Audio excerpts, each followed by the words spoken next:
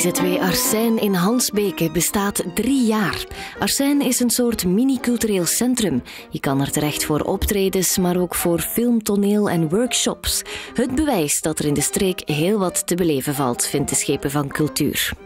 Wel, niet alleen voor Ansbeek, ik denk voor heel Groot Nevelen en, en, een heel stuk daarbuiten, is dat er hier op een professionele manier vooral muziek wordt gebracht, of uh, bands, groepjes, uh, solo-artiesten. En dat is iets waar je anders voor naar de grote stad moet. En nu krijgen we dat hier op onze schoot. Dat is dus fantastisch dat dat gebeurt.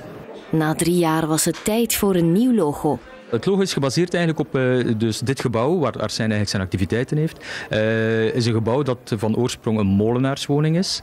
Uh, en we hebben hier ook een molensteen ontdekt hier in de buurt. En die molensteen hebben we dan ook, dus de figuur van de molensteen hebben we dan ook gebruikt in ons logo om zo de geschiedenis van dit gebouw verder te zetten.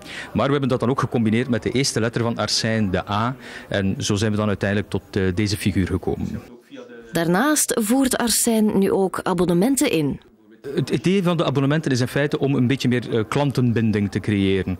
Uh, enerzijds, anderzijds uh, merken we dat in feite veel jongeren de weg nog niet vinden naar Arsijn. En daarom hebben we dus een super promo-aanbieding voor de jongeren om zo die mensen ook te betrekken bij wat er hier gebeurt.